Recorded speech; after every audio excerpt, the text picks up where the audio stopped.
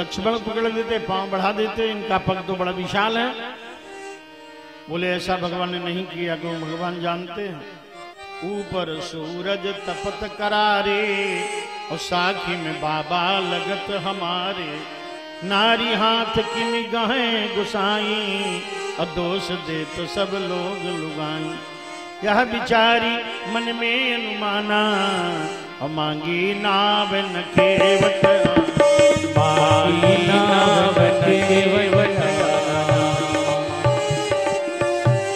अगला भाव, प्रभु पद ते गंगा प्रगटानी और कन्या संभगवन ने मानी। धर्म धुरीण जन्म प्रभु केरो, कन्या रूप गंग को हेरो।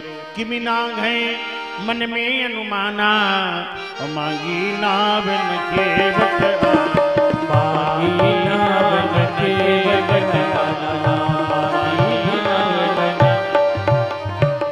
केवट कहे, अब सुनो खरारी। अगर एक बात मैं बतावें काठ की नाव नारी जो होई तो दुई पत्नी मोरी ख्वारी हुई। दो पत्नियाँ हो जाएँगी अगर बुढ़ी नहीं। इसलिए केवट कहे, अब सुनो खरारी, और तुम्हारे ओ घर तीन महतारी। तुम्हारे घर तीन महतारी। तुम्हारे घर तीन महतारी तुम्हारे घर दशरथ तीन रानी नहीं लौटे तो रघुनंदन नहीं बन का औत अपने घर का झगड़ा हमारे यहाँ खड़ा करना चाहते यह विचारी मन में अनुमाना मांगी नाव न केवट मांगी नाव न केवट प्रसंग बड़ा विस्तृत है, संक्षेप में करते हैं। अब तो पद कमल धोई चढ़ाई, नाव न नाद उतराई जहो। जब ऐसा उसने कहा तो सुन के वट के बहन प्रेम लपेटे अटपटे बिहसे करुणायन चितय जान की लखन तन। और उससे कहा पखार लो चरण। तो अति आनंद उमग अनुरागा, चरण सरोज पखारन लागा। बड़े प्रेम से चरण पखारे। पद पखारी जलपान करी आप सहित परिवार। पितर पार करी प्रभु पुण्य मुदित गय उलई पार। सियावर रामचंद्र के मुद्रिका नहीं ली, भक्ति का वरदान दिया भगवान ने, विदा किया। आगे चले भगवान और आगे चित्रकूट में निवास किया। भैया भरतलाल को खड़ाऊ दिए हैं। आगे प्रभु श्री राम वहाँ रहते हुए उन्होंने ऋषियों पर कृपा की पंचवटी में निवास किया। रक्षस्वसु विकृत बुद्धि। त्रिशिर दूषण मुख्य बंधून। जघने चतुर्दश सहस्रम पारणीयम कोदंड पाणी रटमान उवाच कृष्णम भगवान ने वहाँ रहते हुए चौदह हज़ार राक्षस खरुद्र त्रिशरा का विनाश करके उन्होंने सूर्पणखा को विरूप बनाया। और उस समय सीता कथा श्रवण दीपित हरक्षेन उस समय रावण ने सीता हरण किया और तब भगवान विराह विकल की बात जानकी खोजते हुए चले। इधर जटायु युद्ध करके मरणासन पड़ा था। भगवान ने उस जटायु गीध को हृदय से लगा लिया, जिसने परोपकार के युद्ध में अपने प्राणों की बाजी लगा दी है। पर नारी की रक्षा में जिसने प्राण छोड़े हैं, ऐसे परोपकारी जटायु को भगवान ने गोद में ले लिया। जटायु समाज का दिव्य उदाहरण है। जो जो नारी की रक्षा में, नारी के सम्मान में प्राण तक दे देता है। ऐसा जटायु। नारी सम्मान का रक्षक जटायु। जटायु परोपकारी है। प्राय लोग दूसरे की लड़ाई में सहयोग नहीं देते। धर्म की लड़ाई न्याय अन्याय की हो तो न्यायी का साथ नहीं देते, अन्यायी के विरुद्ध नहीं लड़ते। जटायु ने अन्याय के विरुद्ध आवाज़ उठाई, लड़ा है रावण से। सुग्रीव जो है वो व्यक्ति है जो अन्याय देकर मुँह घुमा लेता है। सीताहरण देख करके बोला, नहीं सुग्रीव। लेकिन जटायु ने प्राण दे दिए। आज मरणासन जटायु को भगवान ने गोद में उठा लिया। दीन मलिन अधीन है अंग, विहंग पर्योचित छिन्न दुखारी। राघव दीन दयाल को देख के, आज भई करुणा अति भारी। गीध को गोद में राखी कृपा निधि नैन सरोजन में भरे बारी। बारही बार सुधारत पंख, जटायु की धूरी जटान सो झारी जटाऊ से जटायु की धूल को झाड़ा है, उसे परम पद दिया है।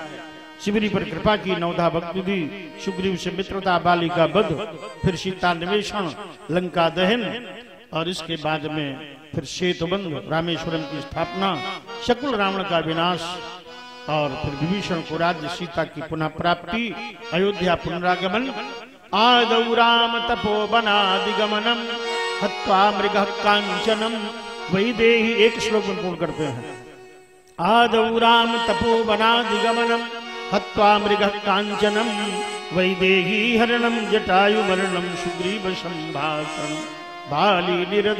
समुद्र तरणम लंकापुरी दाहनम पश्चाद रावण कुंभकर्ण हननम एतद्विरामार्जनम त्रेतायां वर्तमानायां कालः कृतसमो भवत रामे राजनि धर्मज्ञे सर्वभूत सुखावह त्रेता में सतयुग त्रेता भई सतयुग की करनी त्रेता में सतयुग आ गया। राम जी को सिंहासन पर बैठाला और तिलक किया। राम राज बैठे त्रिलोका हर्षित भय गए सब। शोका गाइए। अरे राघव अवध बिहारी राजा राम सीता राघव अवध बिहारी राजा राम राघव हे अवध बिहारी राजा राम। राजा राम।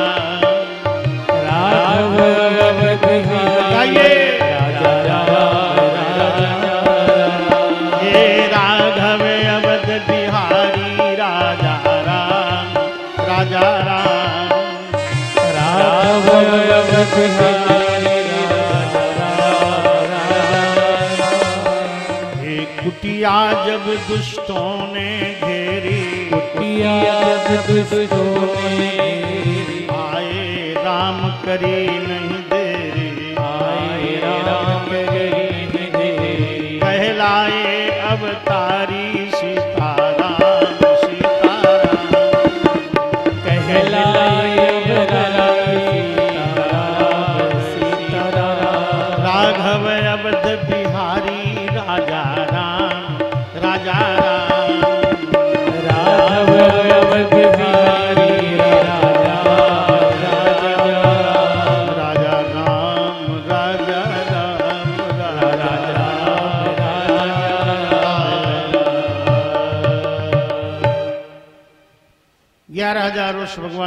राज्य किया और राम राज्य में कोई भी अस्पताल नहीं बनवाया भगवान ने। अब आप लोग आश्चर्यचकित होंगे, क्या धन नहीं था जो अस्पताल नहीं बनवाया? अस्पताल इसलिए नहीं बनवाया क्योंकि कोई बीमारे नहीं था, ज़रूरत नहीं थी अस्पताल की। जब ज़रूरत नहीं है, आवश्यकता आविष्कार की जननी है, अस्पताल की ज़रूरत नहीं थी। क्योंकि अल्प मृत्यु नहीं कौन्यू पीरा। और सब सुंदर, सब निरुद्ध शरीरा। भगवान ने कोई न्यायालय नहीं बनवाया, न्यायाधीश नहीं नियुक्त किए। क्यों? लड़ाई, झगड़ा, वाद, विवाद नहीं था। सब नर करही परस्पर प्रीति, और चल ही स्वधर्म निरत श्रुति नीति। बयर न कर काहूसन कोई, राम प्रताप विषमता खोई। है? गैया मैया के पास जाए, जब चाहो दूध ले लो।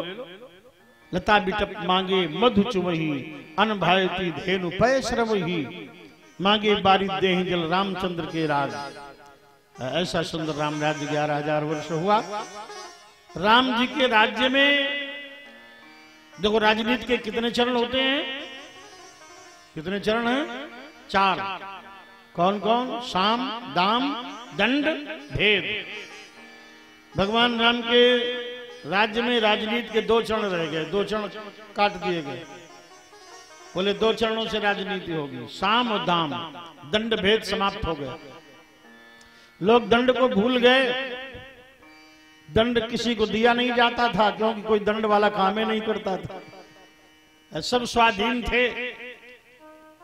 सब स्वाधीन थे। वहाँ पर व्यवस्था की ज़रूरत नहीं थी। अब यहाँ जितने इतने हज़ारों श्रोता और बड़े शांत बैठे यहाँ कोई आकर कह दे शांत रहो। तो लोग कहेंगे तुम शांत रहो। यहाँ शांत रहो कहने की ज़रूरत नहीं है। यहाँ वॉलेंटियर की ज़रूरत नहीं तो छड़ी लेकर घूमे शांत रहो। यहाँ सब स्वयं में शांत है व्यवस्था की ज़रूरत नहीं है, है? तो दंड समाप्त हो गया। अब दंड को लोग भूल गए। तो भगवान ने कहा दंड शब्द बना रहे शब्दकोश में तो सन्यासियों के हाथ में दंड। वहाँ दंड केवल सन्यासियों के हाथ में और भेद केवल गाने राग रागिनी में। भारत गोस्वामी जी लिखते हैं, दंड जतिन कर जति मन संत, दंड जतिन कर भेद तहा नर्तक नृत्य समाज, मांगे बारिद दे जल रामचंद्र के राज। ऐसा सुंदर राम राज्य ग्यारह हज़ार वर्ष हुआ। भगवान स्वधाम पधारे हैं अंशों समेत। बोलिए राजा रामचंद्र की। जय। सब लोग बोलो अयोध्या नाथ की।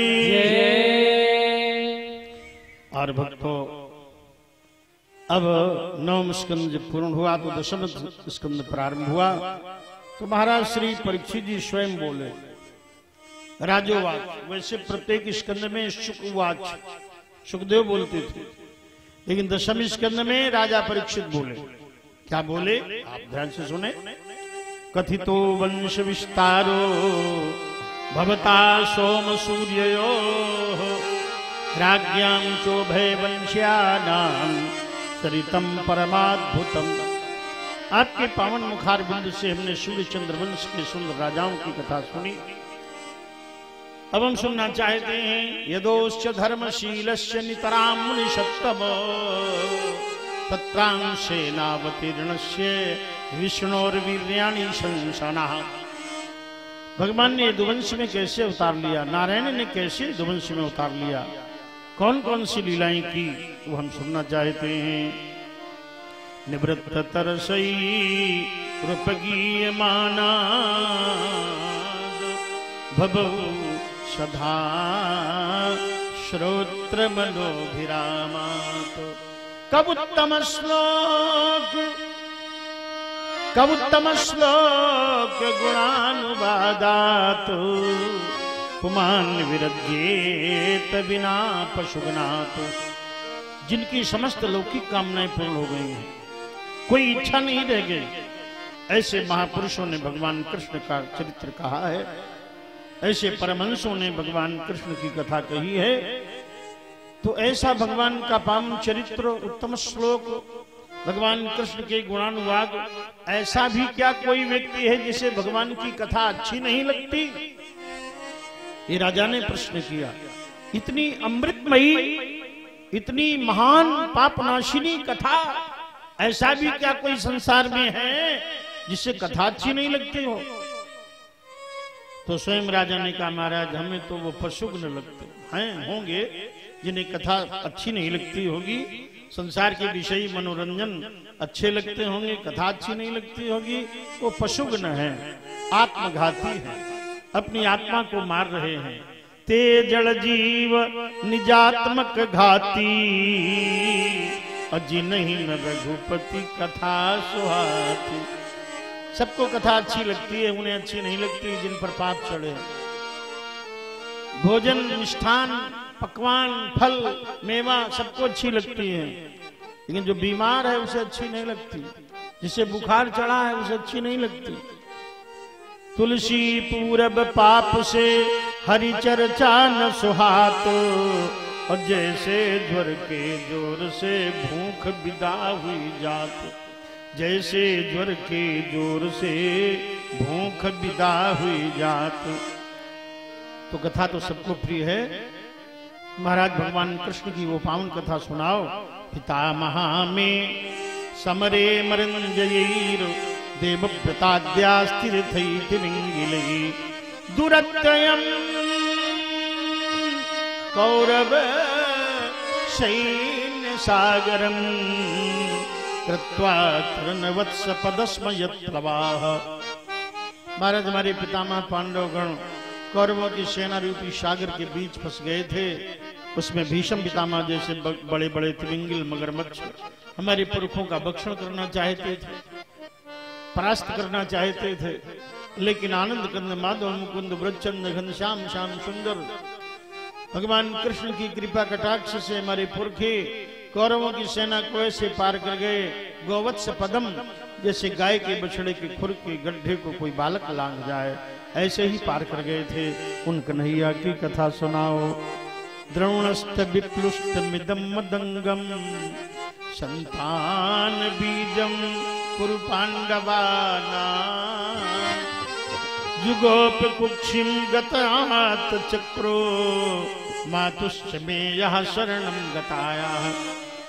जिस समय स्वस्थामा अपने ब्रह्मास्त्र से मुझे गर्भ में ही मार देना चाहता था।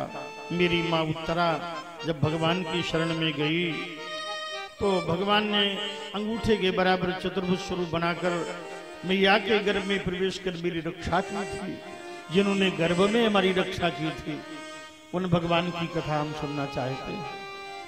आनंद कद भगवान कृष्ण की कथा और वो बलराम की कथा रोहिण्यास्तनया प्रोक्तो रामा शंकर जो महाराज शेषावतार है, वो बलराम जी उनकी कथा सुनना चाहते हैं किस प्रकार से देवक्या गर्भ संबंधा कुतो देहांतरम बिना बिना देहांतर के गर्भांतर कैसे हो गया महाराज?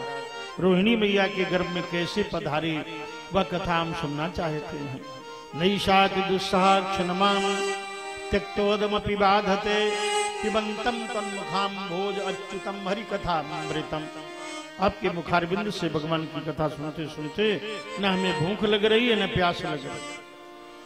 हम तो आपके मुख से हरि कथा का अमृत पी रहे हैं, न भूख है, न प्यास है क्षुदा पिपाशा जाती रही है। अब कथा का अमृत ही पीने का भाव है। आप सुनाइए महाराज। जब राजा ने ऐसा कहा एवं निशम भृगुनंदन साधुवाद। भैया सखी स भगवान। अथ विष्णुरातम प्रत्यर्च कृष्ण चरितम। कलिकल मशगनम। व्याहरत मारभत भागवत प्रधान महाराज श्री सुखदेव जी ने जब सुना राजा के मुख से तो महाराज श्री सुखदेव जी बड़े प्रसन्न हुए, राजन तुम धन्य हो, जो तुम्हारे हृदय में भगवान कृष्ण की कथा का भाव जागा। तुम्हें हम साधुवाद देते हैं, आशीर्वाद देते हैं। वो धन्य है जो कथा सुनते हैं।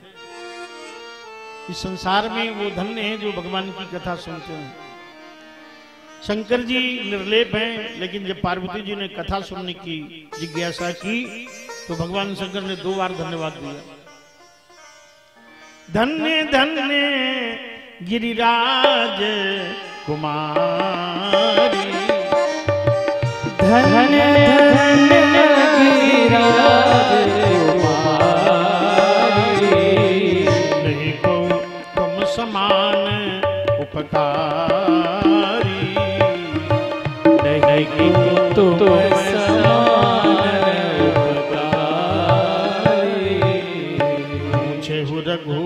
रघुपति कथा प्रसंगा।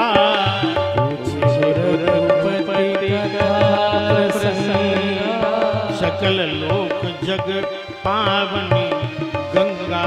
सकल लोक जग पावनी गंगा। ये गंगा है लाने वाली भी तरते हैं नहाने वाली भी तरते हैं। आयोजक भी तरते हैं श्रोता भी तरते हैं और वक्ता भी तर जाते हैं। ऐसी दिव्य कथा। तब कथामृतम तत्व जीवनम कविरीडितम कलमशापहम श्रवण मंगलम श्रीमदादतम भुवि गृणंति ते भूरिदा जन जो इसका प्रचार प्रसार करते हैं कथा का ध्यान दें, कथा का प्रसार जो धरा पर करते हैं वो सबसे बड़े दानी। ऐसी मानता तो भक्तों, महाराज श्री सुखदेव जी बोले, राजन सम्यक व्यवस्थिता बुद्धि तव राजर्षि सत्तम।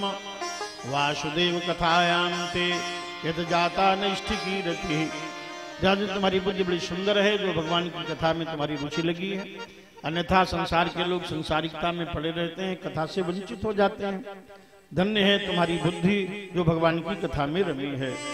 वासुदेव कथा प्रश्न पुरुषांत्रीणि पुनाति ही वक्तारम पृच्छकम श्रोतम तत्पाद सलिलम व्यथा।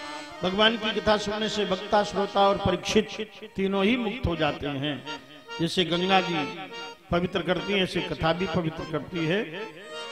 महाराज सुखदेव जी कहते हैं, द्वापर का मध्यांतर आ गया। भूमिर द्रप्त नृप ब्याज, दैत्यानीक शतायुत आक्रांता भूरि भारेण ब्रह्मांडम शरणम द्वापर का मध्यांतर आ गया। और राक्षस उत्पन्न होने लगे, राजाओं के वेश में राक्षस दैत्य उत्पन्न होने लगे। चारों ओर त्रेता वाला परिकर आ गया, रावण और कुंभकर्ण के अवतार, शिशुपाल और दंतवक्र चंदेरी में उत्पन्न हुए दमघोष नंदन के रूप में। मगध में जरासंध हुआ और मथुरा में कालने में नामक राक्षस ही उग्रसेन का पुत्र बनकर आया, कंस। कंस के रूप में अवतरित हुआ। इलवल बलवल साल विदूरत नाना प्रकार के दैत्य उत्पन्न हो गए और पापाचार करने लगे। धरती काँप उठी। भूमि भार धरती नहीं सह सकती। कहती, गिरिशर सिंधु, भार नहीं मोही, जस मोही गरु एक परद्रोही। पापी का भार बहुत खलता है। धरती माँ व्याकुल हो गई, गाय का रूप बनाया। रोते हुए ब्रह्मा की सभा में गई। ब्रह्मा बोले, चलो शंकर जी के पास चलें। शंकर जी के पास गए, रामावतार में शंकर जी ने कहा था, भगवान सर्वत्र व्याप्त है। हरि व्यापक सर्वत्र समाना। इन कृष्णावतार में कहा, चलो, क्षीर सागर की यात्रा करो। देवता तुम बड़े भोगी हो, तुम घरों से नहीं निकलते। भगवान की यात्रा नहीं करते, साधना नहीं करते, तपस्या नहीं करते। चलो चलो, सब लोग चलो, क्षीर सागर चलो। सब देवताओं को लेकर, ऋषियों के साथ, धरती के साथ, भगवान शंकर क्षीर सागर गए। तत्र गत्वा जगन्नाथम देव देवम ब्रखा कपिम पुरुषम पुरुष सूक्तेन उपदस्थे समाहिता। वहाँ जाकर यजुर्वेद के पुरुष सूक्त मंत्रों से नारायण की वंदना की।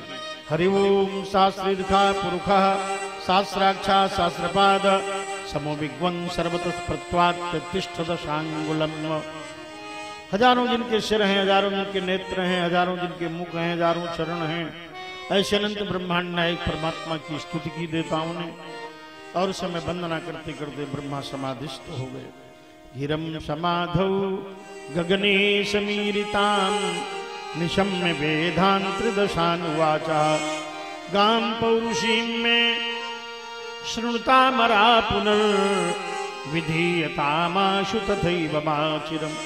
आज आकाशवाणी भी ब्रह्मा जी, सुना ब्रह्मा जी ने कि हम भूमि भार हरण करने आ रहे हैं। अब शीघ्रता से हम अवतार लेंगे और भूमि भार हरण करेंगे। कहाँ अवतार होगा? वसुदेव गृह साक्षात। भगवान पुरुषः परः। जनयिष्यते तत्प्रियार्थम संभवन्तु सुरेस्त्रयः। वसुदेव के घर में हमारा अवतार होगा। देव की वसुदेव से हम अवतार लेंगे। और मेरे जो अनंत सखा स्नान जी हैं, ये उत्पन्न होंगे बड़े भैया बलदाऊ के रूप में। और मेरी जो आह्लादिनी शक्ति है, आदि शक्ति, वो तो राधा के रूप में अवतार लेंगे राधा भगवान की आत्मा है, आदि शक्ति है, वो राधा के रूप में उतार लेंगी। और ये जितनी देवियाँ हैं, ये ब्रज में चल करके ये सब गोपी के रूप में अवतार ग्रहण कर। और जितने भी ये देवता हैं, ये सब गोप के रूप में अवतार लें। देवियाँ गोपी बनने के लिए चली। और देवता लोग गोप के रूप में अवतरित होने लगे। बड़े बड़े महात्मा बोले, हम भी गोपी बनेंगे। रामोपनिषद में वर्णन है दंडक बन के बारह हज़ार महात्मा। उन्होंने राम जी का रूप देखा। दुर्वादलम दितम तरुणाब्द नेत्रम ऐसे भगवान को देखा। तो उनके मन में हुआ कि हम भगवान के साथ लीला करें, आलिंगन करें, स्पर्श करें। भगवान ने कहा तो फिर तुम सब गोपी बनोगे, द्वापर में।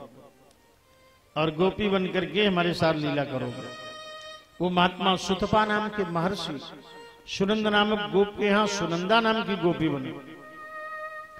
उग्र तपा नाम के महात्मा ललिता नाम की गोपी बने। जाबाली नाम के महात्मा रंगबेली नाम की गोपी बनी। ये महात्मा लोग गोपी बन गए। और वेदों की ऋचाएँ, वेद मंत्र बोले, हम भी गोपी बने। तो वेद मंत्र, वेद ऋचाएँ भी गोपी बनी। है?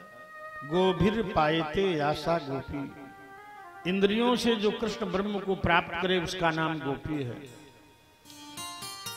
गोपी मुमुक्ष जीव है। गोभिर पिबती कृष्ण रसम आशा गोपी। इंद्रियों से कृष्ण रस का जो पान करे, वो गोपी।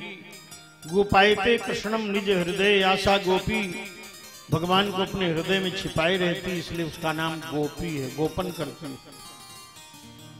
गोपी मुमुक्ष जीवात्मा है। अब सिद्ध ऋषि मुनि कोई कहता हम तो ब्रज में कदम बनेंगे। भगवान हमारे ऊपर चढ़ेंगे तो हमें बड़ा आनंद मिलेगा। कोई बोला हम तो मोर बनेंगे।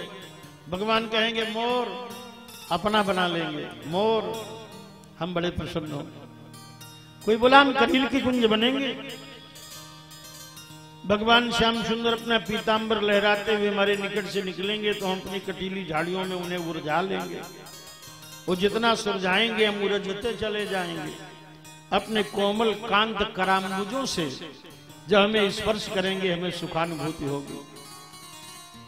ऐसे भाव लिए हैं संत का कहते हैं, भगवान उर ऊपर नित्य रहूँ लटका अपनी बनमाला का फूल बना ले। लहरें टकराती रहे जिससे वो पावन कालिंदी फूल बना ले। स्पर्श करेंगे तुम्हारे चरण। वो पावन कदम्ब की बना ले। चरणों में लिपटे रहेंगे सदा। अरे ब्रज राज हमें ब्रज धूल बना ब्रज धूल बनना चाहता ब्रजराज हमें ब्रज धूल बना ले।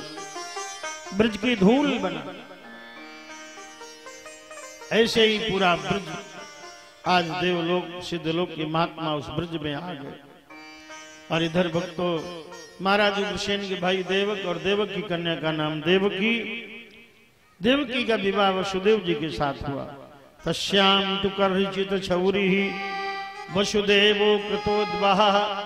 देवक्या सूर्या सार्धम प्रयाणी रथ मारुभतो बहुत दान किया है उग्रसेन ने। दही, दहेज में बहुत धन दिया है। 200 हाथी दिए 200 रथ दिए, दास दासियाँ दी, रत्न दिए, विदा किया।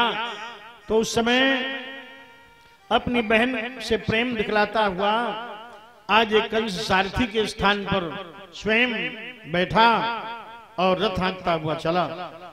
जब रथ हाँकता जा रहा था पति ग्रहीणम कंसम अभाष्या शरीरवाको अस्यास्वष्टमो गर्भो हंताम्याम भाष्य अबुधो। जिस समय ये रथ हाँकता हुआ जा रहा था, उसी समय आकाशवाणी हुई, अरे अरे अबुध कंस, मूर्ख कंसो, अपनी जिस बहन को इतने स्नेह पूर्वक भेजने जा रहा है, इसका आठवां लाल तेरा काल हो जाएगा। जब कंस के कानों में आवाज़ आई तो कूद पड़ा रथ से।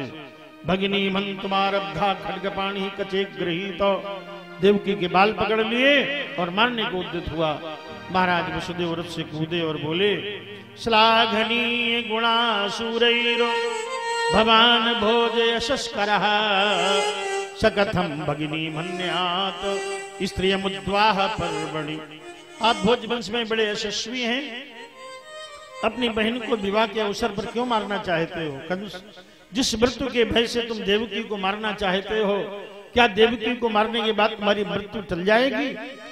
मृत्युर्जन्म बताम वीर देहेन सहजायते अद्य बाप शताम के वा मृत्युर्वई प्राणी नाम ध्रुव। जिस दिन मनुष्य का जन्म होता है, उसी दिन उसकी मृत्यु भी निश्चित हो जाती है। आज कल या वर्षों बाद मृत्यु तो आनी ही है। कोई बचा नहीं, न बच्यो कोई वेद पुराण पढ़े, न बच्यो कोई शीश रखाए जटा, न बच्यो कोई वन में बास किए, न बच्यो कोई ऊँचे चुनाए अटा। सपने समये संसार चला चल चार दिना को ठाठ ठठा, तुलसी तुम राम से नेह करो और सिर घेरत आवत काल घटा। इसलिए कन्या की समान ये तुम्हारी है, ये संसार स्वप्नवत है, आत्मा अमर है, शरीर नाशवान है।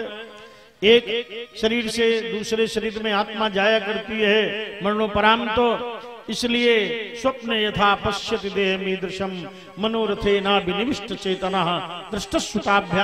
मनसान चिंतन प्रपटते तत्के विपेह स्मृति इस प्रकार से तो ये स्वप्नवत जगत है। ये कन्या की भांति इसको देहाभिमान छोड़ दो। कन्या की भांति देव की इसको मत मारो। और जब इस प्रकार से कहा, मूर्ख को उपदेश वो ज्ञान गांठते जाय। कोयला श्वेतन होत है, सौ मन साबुन खाए कोयला कभी श्वेत नहीं होता। ये जो मूर्ख हृदय न चेत जो गुरु मिले बिरन की सब। अब तो इसने तलवार निकाली और चल पड़ा मारने के लिए। मैया, देवकी को मारने के लिए दौड़ा। तो महाराज वसुदेव आज बड़े विकल है। वसुदेव ने कहा, मेरा बंद करो तो वसुदेव को मारने दौड़ा देवकी कहती, कैसी बेंदी, कैसा सिंदूर, श्रृंगार कहा, अब साज कहा? पतिदेव के जब प्राणों पर है तो फिर पत्नी को लाज कहा? अरे दुष्ट तू मेरा ही बद कर दे। आज नव दंपति का अनन्य अनुराग अवलोकन कर देवताओं के नेत्रों से सुगिरने लगे। लेकिन क्रूर कंस के हृदय में कृपा का कण नहीं पैदा हुआ। समय वसुदेव बोले, भैया देवकी को क्यों मारना चाहते हो? बोले, तुमने सुना नहीं इसका आठवां लाल मेरा काल होगा? तो महाराज वसुदेव बोले, प्रदाय मृत्यवे पुत्रान मोचे इमाम देवकी का आठवा लाल। हम तेरे आगे धर देंगे।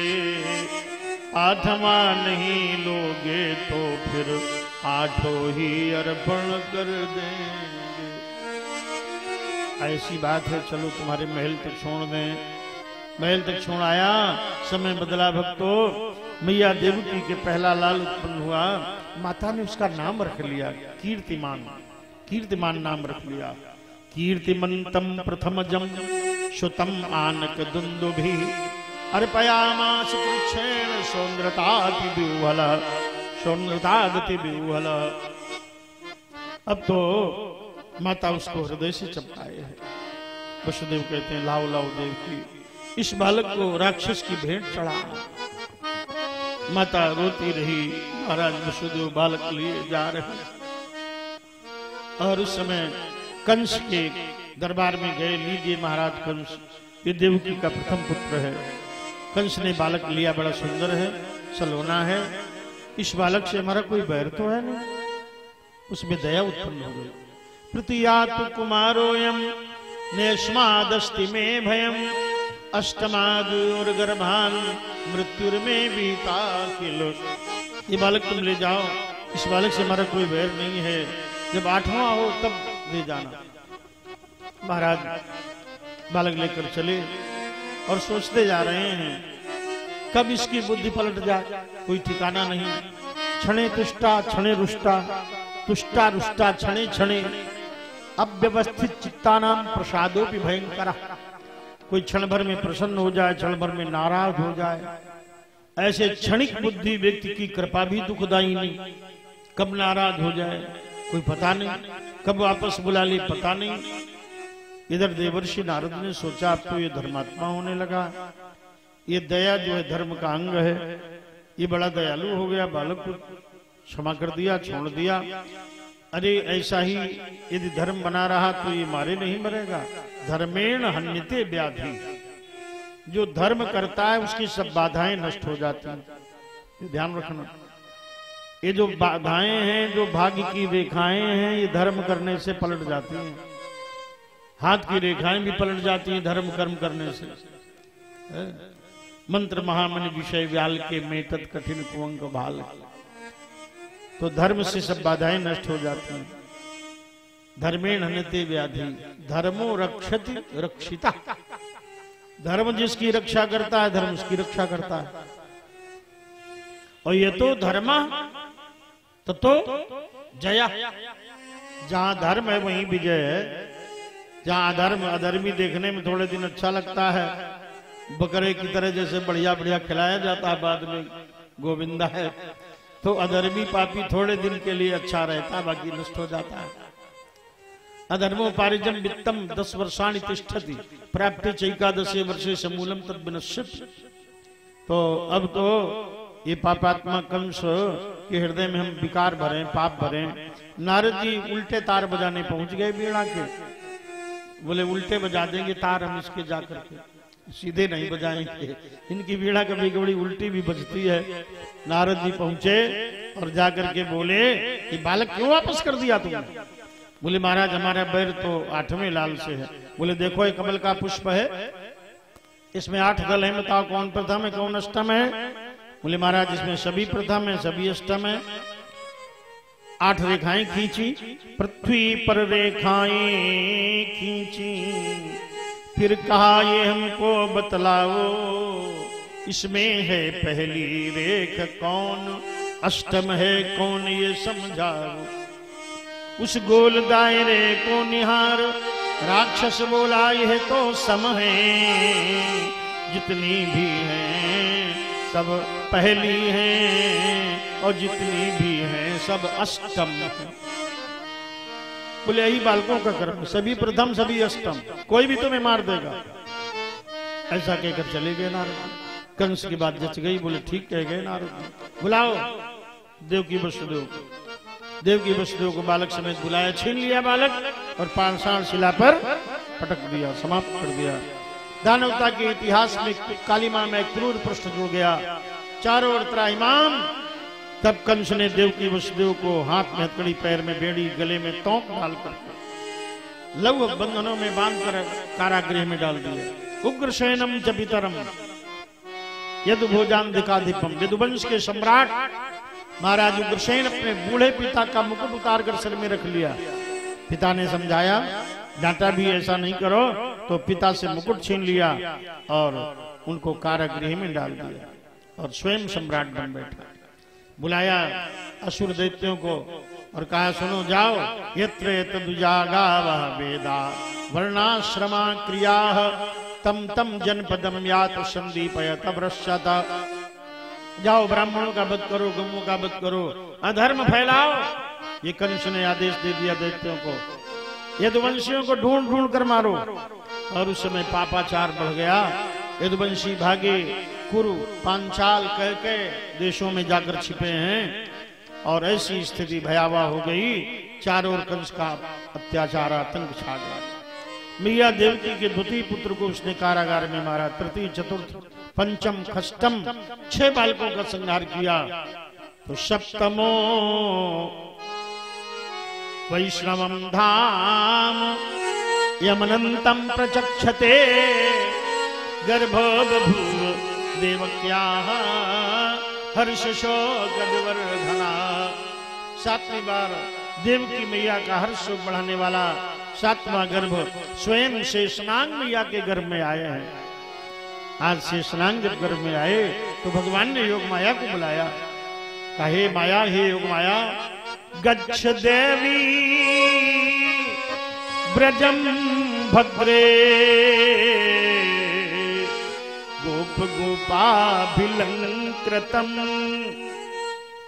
रोहिणी वसुदेवस्य हार्यास्ति नंद गोकुले हे देवी, तुम ब्रज चली जाओ और महाराज वसुदेव जी की एक दूसरी पत्नी रोहिणी, कंस के भय से नंद बाबा के भवन में निवास करती हैं। मैया देवकी का गर्भ खींच करके माता रोहिणी के उदर में पहुँचा दो। हे योग माया, जब तुम ऐसा करोगी तो स्थान स्थान पर तुम्हारी स्थापनाएँ होंगी।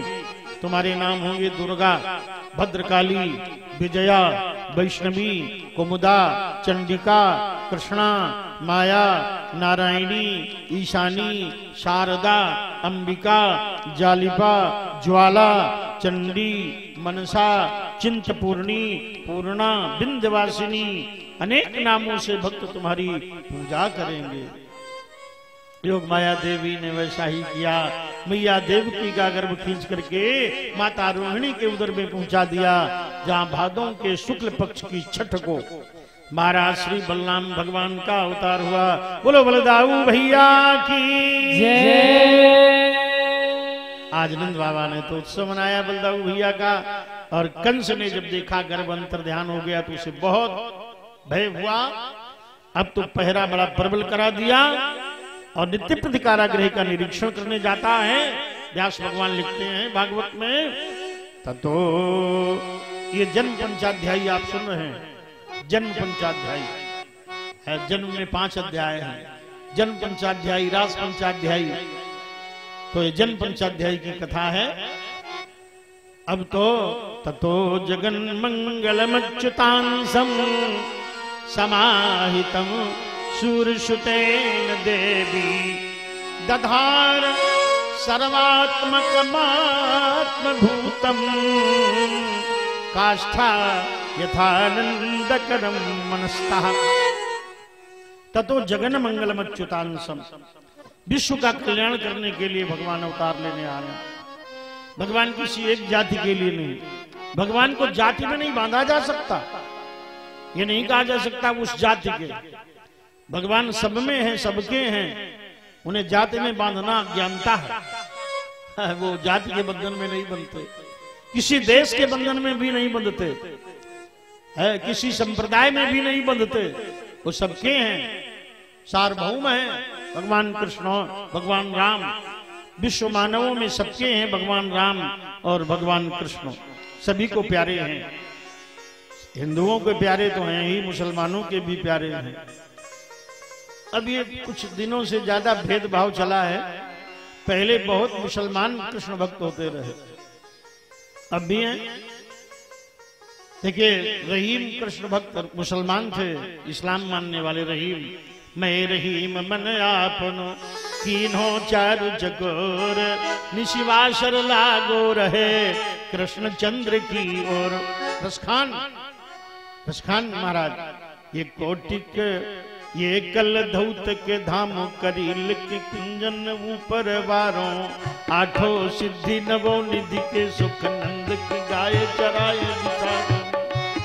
याल कुटी अनु कामरिया पर राजती हूँ पुर को मैं बारों